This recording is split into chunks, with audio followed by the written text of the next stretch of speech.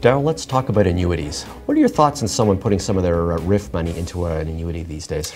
It may, for certain people, make great sense uh, where they're looking to make sure that the financial needs in their situation are covered off by something that is unshakable and is guaranteed. That's where it really kind of makes sense for people to look at it. Now, I know interest rates are low, and that is a key consideration in deciding how much money you will get per month from your annuity. How much does that weigh against the annuity argument right now? You could look at it, uh, given the long-term rates, that it does weigh against it quite substantially in the current environment environment. But the other side of it is what we would call the psychological right. aspect. And talk to me about how comfortable it is to have an annuity coming in no matter what the stock markets are doing. Well, and you just described it. You've got this income coming in that's not going to be affected by interest rates, by stock markets, and you know that's solid. It also gives you, if you have that awareness, more discretion with how you choose to invest your other assets. Right. So you're saying if I have an annuity and I know that money is coming in no matter what, I might be able to invest with a little bit more aggressiveness in the stock market, for example. Exactly. So that blend of guarantees and the, and the variability and flexibility flexibility of other assets invested, it's a really good combination. You know, it's starting to make sense to me, this annuity thing. Thanks. You bet.